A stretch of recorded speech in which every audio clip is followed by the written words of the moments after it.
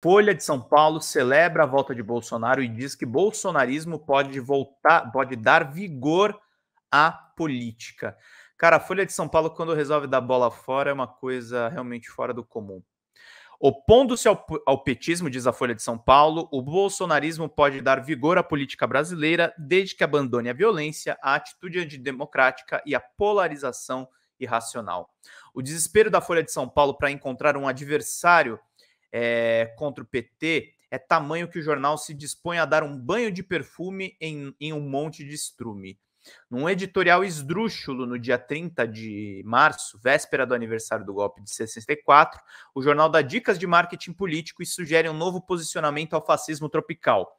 Opondo-se ao petismo, o bolsonarismo pode dar vigor à política brasileira desde que abandone a violência, a atitude antidemocrática e a polarização irracional, ou seja, desde que Jair e seguidores abandonem a si próprios e virem outra coisa que não exatamente o que os distinguiu até agora, a violência, a atitude antidemocrática e a polarização irracional, isso dá menos de três meses dos ataques terroristas em Brasília. Coração de mãe da Folha de São Paulo. É um conselho amoroso. Se você parar de matar os outros e ce celebrar torturadores, eu caso.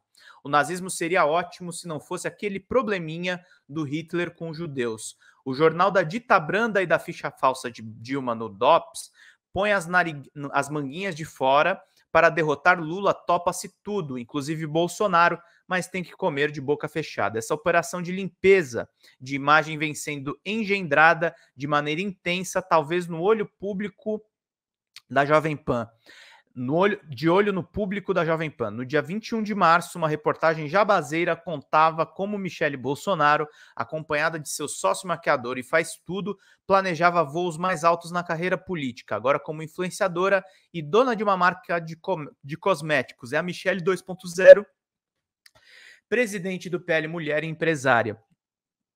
O roubo da joia, segundo aquela picaretagem jornalística, não passa de inferno astral. Há pouco alguém percebeu a bandeira do editorial e mudou o desfecho online. Bolsonarismo até poderia, se abandonasse a violência e o autoritarismo, liderar uma oposição saudável ao PT. Esse, esse não é, infelizmente, o desfecho mais provável. Muito pouco tarde demais, a emenda tão ruim quanto o soneto o texto deixa claro porque Bolsonaro sempre foi um candidato do sistema, da escolha muito difícil, não é o ideal, mas é o que temos. As favas, todos os escrúpulos de consciência.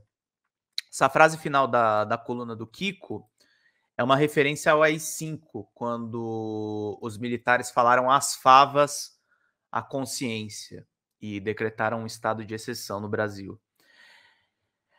O Luiz Frias está transformando a Folha de São Paulo no Estadão 2, tá, gente? É, é, é isso que está acontecendo, é disso que se trata. Há um nicho ultraconservador, extremista, consumidor de merda no WhatsApp, que tem veículos merdas que eles consomem, que a grande imprensa, ou pelo menos parte dos patrões, que é esse pessoal de volta. Esse pessoal também tem dinheiro.